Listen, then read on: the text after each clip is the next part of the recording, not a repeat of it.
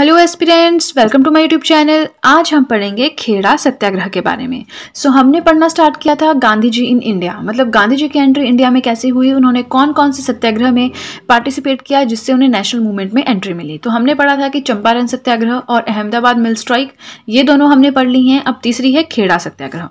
खेड़ा सत्याग्रह कब हुआ है? उन्नीस को हुआ था ठीक है? और इसे फ़र्स्ट नॉन कॉरपोरेशन भी कहते हैं। मतलब उन्होंने असहयोग किया। सरकार का सहयोग नहीं दिया और अपनी बातें मनवाई, ठीक है?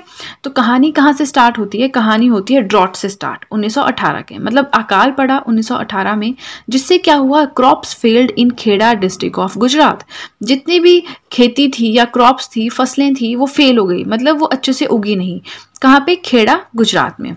ना अब होता क्या है? According to the revenue code if yield is less than one fourth of the normal produce farmers को रेमिशन मिलता है।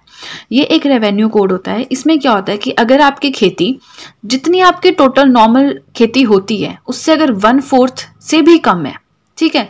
अगर मान लीजिए आप हंड्रेड के प्रोडक्शन करते हैं महीने में और अगर आपकी खेती किसी महीने में पच्चीस के से भी कम हुई तो फार्मर्स को माफ़ी दी जाती है। उन्हें कोई रेंट नहीं देना पड़ता, कोई ड्यूज़ नहीं देने पड़ते, कोई टैक्स नहीं देना पड़ता, उन्हें बिल्कुल माफ़ी हो जाती है। जो भी खर्चे होते हैं ना, जैसे टैक्सेस वगैरह, इनसे माफ़ी हो जाती है।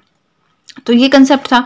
अब क्योंकि खेती हुई नहीं तो उनको माफ़ी मिलनी चाहिए थी रेमिशन मिलना चाहिए था but authorities refuse for it authorities ने क्या किया? मना कर दिया कि ऐसा नहीं होगा। आपको देना ही पड़ेंगे जो भी ड्यूज़ हैं वो देने पड़ेंगे। इससे फिर जो आ, हमारे फार्मर्स होते हैं आपको पता है उनकी स्थिति कितनी ख़राब रही है शुरू से तो वो बहुत दुखी हो गए कि अब हम कैसे देंगे? जब हमारी खेती नहीं हुई तो हम टैक्सेस कैसे भरेंगे?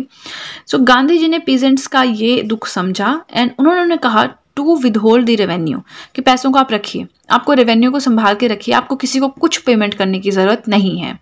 अब गांधी जी ने उसके बाद कोई एक्शन नहीं लिया, कुछ नहीं किया, बस उन्होंने विदहोल्ड करने के लिए कहा, जो भी आपका रेवेन्यू था। प्लस धीरे धीरे ये बात इतनी फैल गई कि अथॉरिटीज़ ने जो है, गांधी जी के इन्फ्लुएंस में आकर उन्होंने सीक्रेट इंस्ट्रक्शंस पास की।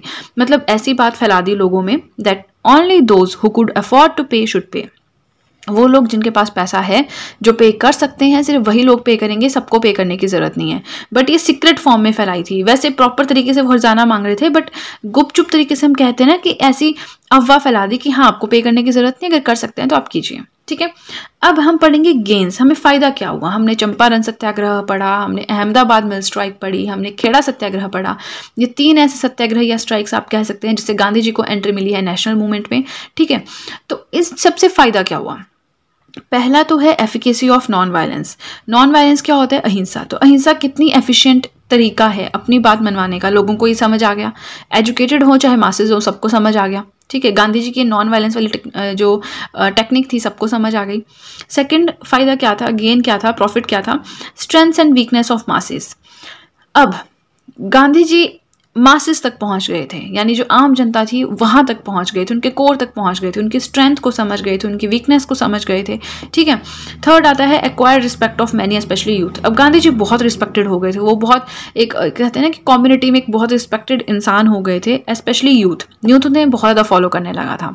ठीक है? So that's it for Kheda Satyagraha. अगर आप देखना चाहते हैं चंपारण सत्याग्रह और अहम अहमदाबाद मिल स्ट्राइक की वीडियोस उनका लिंक मैंने डिस्क्रिप्शन बॉक्स में दे दिया है, आप वहाँ पे जाकर देख सकते हैं। और अगर आपको वीडियो अच्छी लगी तो आपको पहले ही पता है क्या करना है, जल्दी से कर दीजिए चैनल को सब्सक्राइब सो दैट मैं जैसे कोई वीडियो अपलोड करूँ, आप तक एकदम से नोटिफिकेशन पहुँच जाए।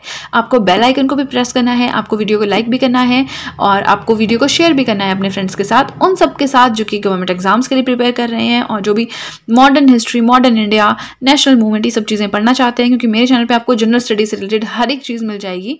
And that's it and see you soon.